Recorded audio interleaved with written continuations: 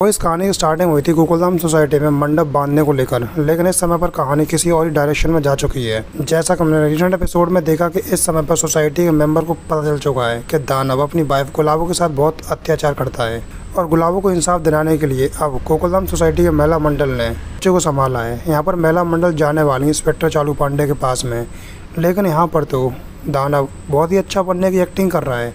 और ये देखने के बाद गोकुलधाम सोसाइटी के महिला मंडल शॉक्ड है कि जो दानव अपनी वाइफ के साथ इतना अत्याचार करता है, वो इस समय पर इतना शरीफ बन के खड़ा हुआ है। लेकिन ये सिंपल सी बात है कि यहाँ पर गुलाब हुई कहीं ना कहीं दानव से डरी हुई है और इसीलिए वो सारी सच्चाई इंस्पेक्टर चालू पांडे को नहीं बता रही है।